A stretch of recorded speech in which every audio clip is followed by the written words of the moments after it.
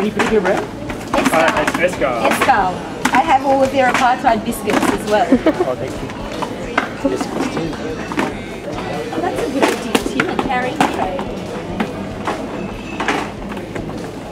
Where the Eskal? Yep. All the Eskal pickles. Pickles. Great. Eskal pickles. Uh, Eskal wafers. These pickles cost, uh, they weigh 500 grams. For 500 grams of pickle, that's 120 litres of water. 120 litres of water. Uh, 240 per kilogram. Uh, so obviously these pickles are grown on stolen land. Uh, this 500 gram tin of pickles represents about 40 litres more than the daily average usage of water for Palestinians living in the occupied territory. Literally, literally, this, this state, this economy prioritizes pickles above human lives. Shame Woolworths, shame for stopping the... We should stand here today, call on Earthscar to remove, uh, call on Woolworths to remove all of its Earthscar products from its shelves. These are apartheid products. These are products of a state which is racist, which steals people's land, which denies them rights to water. You're supporting apartheid. Hey, You can't hide. You're supporting apartheid.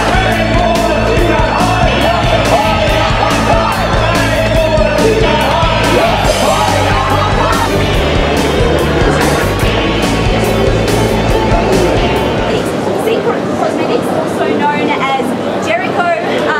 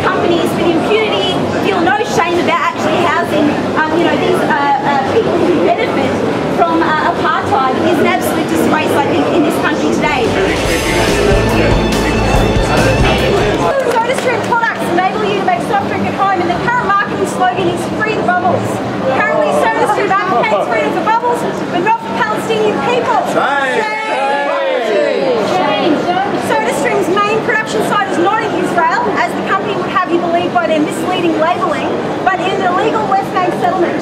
They enjoy several structural advantages such as tax incentives, lax enforcement of regulations,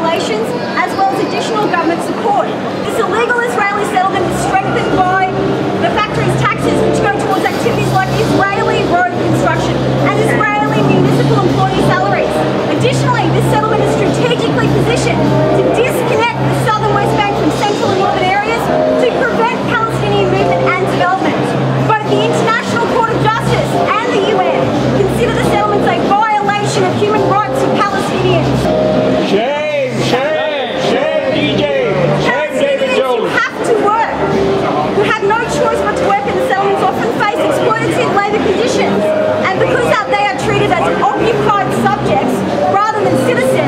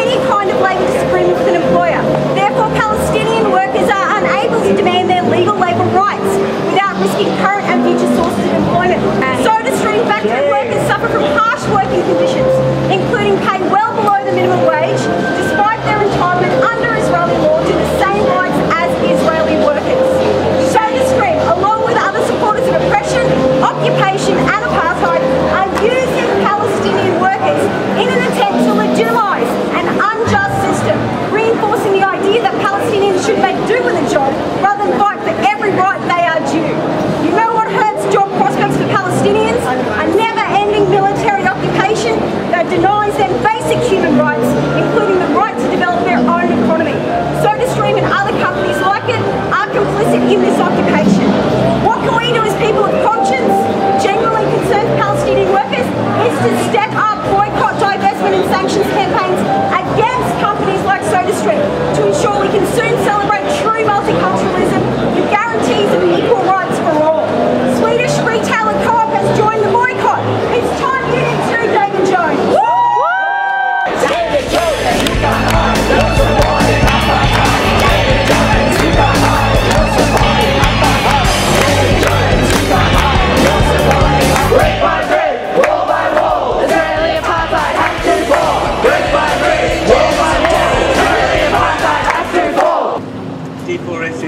the uh, largest security company in the world.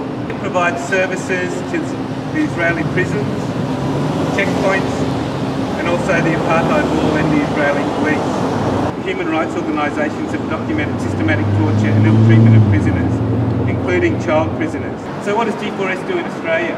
The Port Phillip prison in Melbourne and the Mount Gambier prison in South Australia. They're two major private prison facilities that are managed and run by G4S. Run the Manus Island Detention Facility. What about Brisbane and Queensland? These are the things that I've found so far. They're actually responsible for security at the Port of Brisbane, but they actually man- manage the Brisbane Immigration Transit Accommodation Centre in Brisbane as well.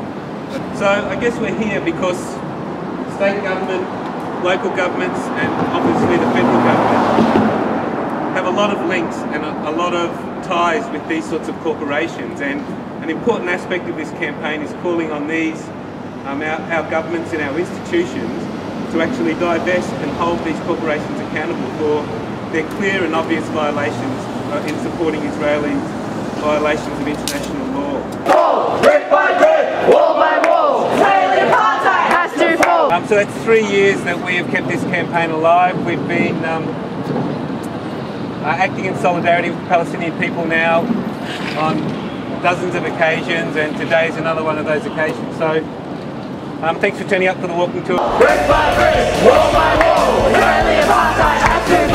Brick by brick, wall by